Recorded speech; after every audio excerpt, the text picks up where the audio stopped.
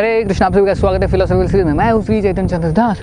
तो ये सत्य घटना है ट्रू स्टोरी तिरुपति में ये स्टोरी हुआ था। तो एक बार एक व्यक्ति जो था, ऐसे ही उसका किसी कारण की वजह से मृत्यु हो गया तो मर गया। फिर बाद में उसके जो रिलेटिव्स है, रिश्तेदार है, उसको वो इसके ऊपर लेके जा रहे थे, कंधे के ऊपर, स्मशान घाट पे लेके जा रहे थे। तो जब जा रहे थे, चल रहे थे, स्मशान घाट पे जैसे ही पहुँचे तो उधर वो व्यक्ति जो था, वो खड़ा हो गया।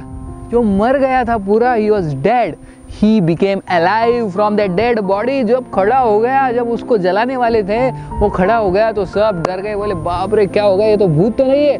तो बोले, चिंता मत करो, भागो मत। मैं ठीक हूँ। मैं ज़िंदा हूँ। तो वो फिर घर पे आ गया। और बाद में जो अपने सारे जो रिश्तेदार थे, उनको बुलाया, बोला कि मैं मर गया था, अभी मैं ज़िंदा हो गया, मेरे साथ क्या हुआ, आप अगर सुनेंगे तो आश्चर्यचकित रह जाएँगे। तो फिर उसने उसके रिलेटिव्स को बताया कि हुआ ऐसे, जब मेरा मृत्यु हुआ तो मुझे यमदूत लेने के लिए आए थे। तीन यमदूत आए थे, तीन एक्चुअल में। तो मैं बहुत डर गया, क्योंकि उसने सारे जीवन पाप कार्य किए थे तो यमदूत आए उसको लेने के लिए। तो जब यमदूत आ गए और उसको लेके जा रहे थे और उसको यमराज के पास लेके गए तो यमराज ने बोला, अरे, तुमने गलत व्यक्ति को लाया।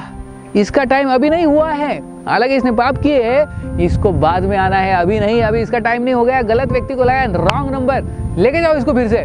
तो यमराज ने गुस्सा किया यमदूतों के पास, और फिर यमदूत फिर से ये व्यक्ति को जो सटल बॉडी होता है, जिसका सूक्ष्म शरीर, वो लेके जाते हैं। तो सूक्ष्म शरीर लेके आए, और फिर से उसको जब ला रहे थे on the way return journey में, यमदूत ने बोला, देखो, अभी तो हमने रॉन्ग नंबर गलती से लाया तुमको, लेकिन तुमको तो इधर आना है बाद में, तुम्हारा भी समय आएगा।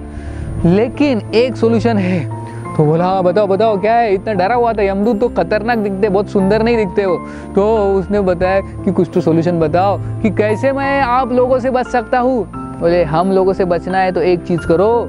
जो एसी भक्ति वेदांत स्वामी है, उनकी जो गीता है, Bhagavad Gita as it is वो ले लो और वो पढ़ो। अगर आप वो पढ़ोगे तो हमारा चेहरा देखने नहीं पड़ेगा आपको।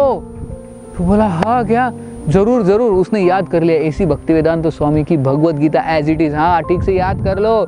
जब आप फिर से जाओगे शरीर में तो इस्कॉन का मंदिर, हरे कृष्णा का मंदिर, उसमें जाके ऐसी भक्ति वेदांत स्वामी का Bhagavad Gita as it is purchase करना और वो पढ़ना। अगर आप वो पढ़ोगे तो यमराज के पास आपको आना नहीं पड़ेगा।